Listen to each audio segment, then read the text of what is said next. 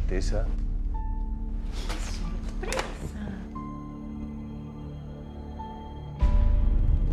Yo quiero escribir sobre la causa de Morales. ¿Y qué sabes de escribir novelas vos? En realidad nunca más hablamos de eso. ¿Por qué nunca más hablamos de eso?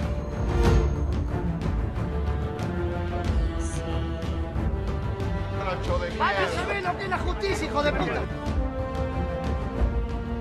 Entera fue mirar para adelante. Atrás no es mi jurisdicción.